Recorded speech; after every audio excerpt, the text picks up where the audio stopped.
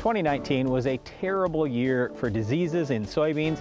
We've spent a lot of time talking about sclerotinia white mold, sudden death syndrome, and a few other diseases, but today we want to get to some of the less common ones. Darren has spent a lot of time out in soybean fields here in the last few years. So Darren, I'm just going to quiz you quick. Let's start with Phomopsis.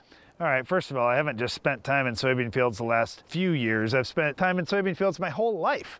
And oftentimes you see throughout the season different stages of some of these diseases we're going to talk about. So when you talk about that whole Diaporthe family of diseases, Phomopsis being part of that, I think of pod and stem blight. Now, there's a couple different things here because you can see late in the season when you have warm and wet conditions, more disease pop up on soybean plants, especially during reproduction, and then as they get to the end of the year and they start to senesce.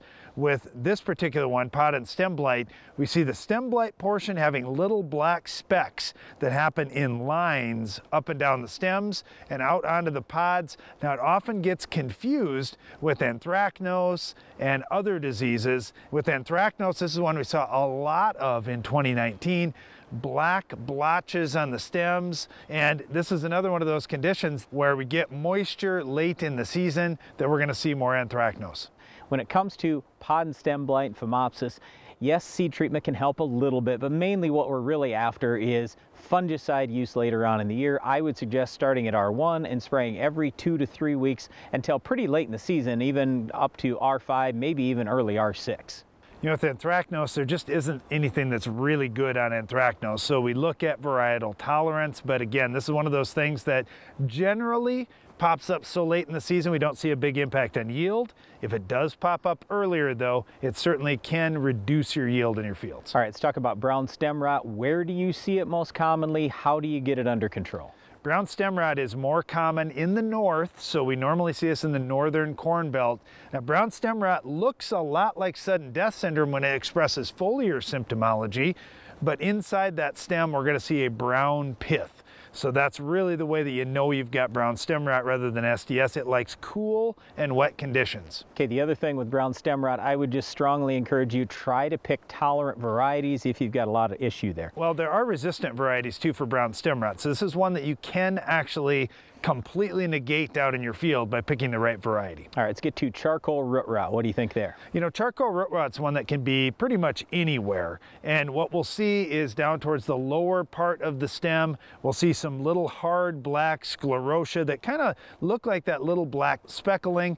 When you scrape off the outer layer of skin on the soybean stem, you'll often see a charcoal color.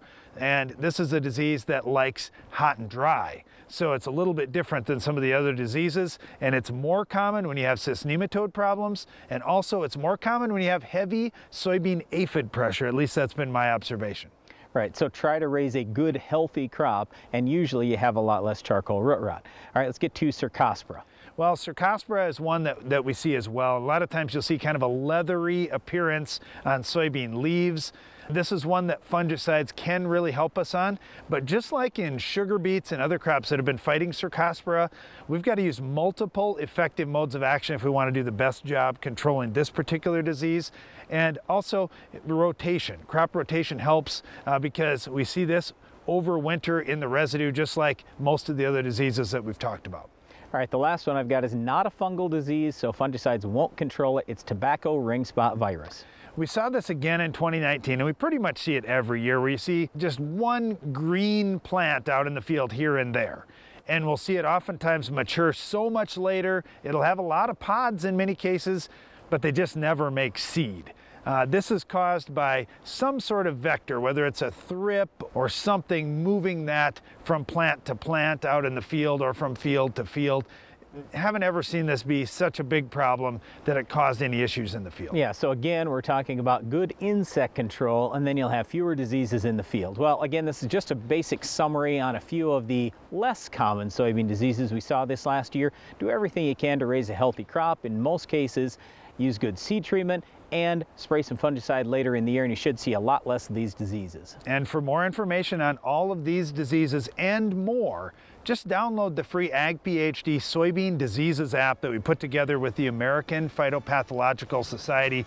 Great information, great pictures, uh, and a lot more details too. Well, we've talked a lot about disease control, but we're going to get to weed control later in the show. Can you identify this week's weed?